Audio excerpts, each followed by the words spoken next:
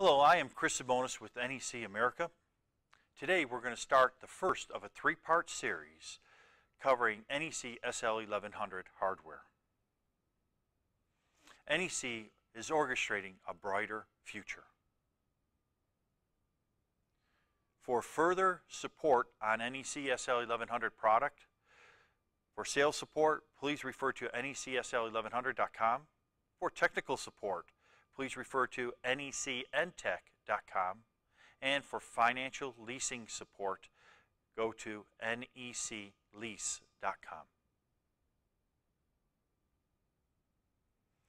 If you'd like to reach out to your regional account representative, please find their contact information on our national map, and they'll be happy to assist you.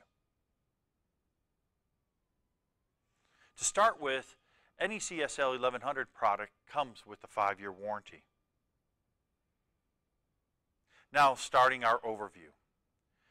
This is going to be the first of a three-part series.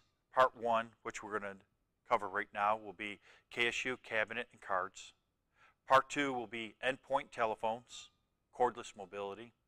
And part three will be in-mail voicemail and optional equipment. Continuing with part one, cabinet and common cards.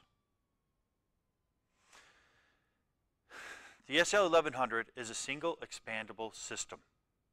It enables you to accommodate a variety of trunks, and those trunks could be analog, T1 PRI, or SIP. It also allows you the flexibility to enable voice over IP extensions, digital station ports, and analog extension ports. The SL1100 is configured in a main, initial main cabinet of zero lines, eight digital stations, and four analog ports. Also comes with two ports of auto attendant. Allows you to direct calls without message storage capability. One audio output port for external paging, non-amplified. Two audio input ports. Those would use mono audio mini jacks. They can be used for background music, music on hold, or sold on hold. Two door boxes with relays.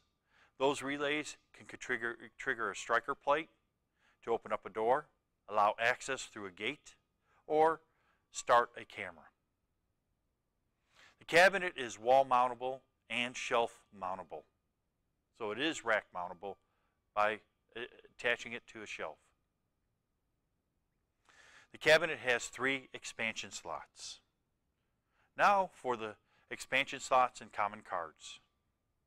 Start with, we have a four-port analog CO card. You can have a maximum of three analog CO cards in the system. The first mounts to the motherboard. The second and third cards mount to station cards. Endpoint and station cards. We have an 8-port digital station card. You can have a maximum of two additional cards per cabinet. You have an 8-port analog station card, and again, a maximum two per cabinet. And then we have a voice over IP daughter board that mounts onto the CPU. It comes with 16 resources, four SIP trunk licenses. Those 16 resources will facilitate up to 32 extensions. You can add one more 16 port resource license onto that voice over IP daughter board for a total of 32 resources that will facilitate up to 64 voice over IP extensions.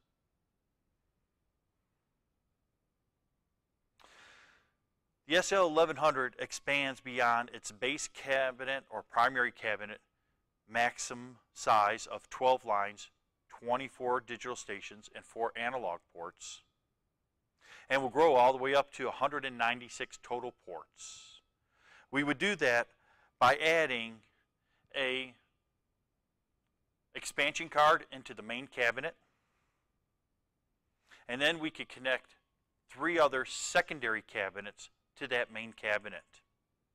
Each one of those cabinets maximum build out would be 12 lines, 24 stations, and four analog ports, bringing us to 48 total lines, 96 digital extensions, and 16 analog extensions.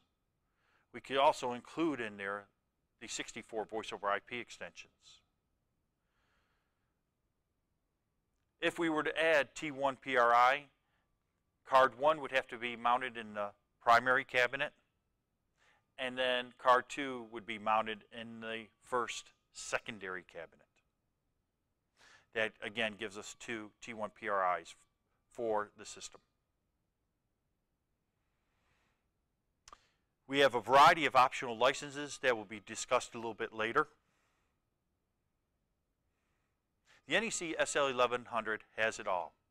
It is easy to configure, easy to assemble. It comes with a five-year warranty, no contract, no volume requirements. There are three levels of training available.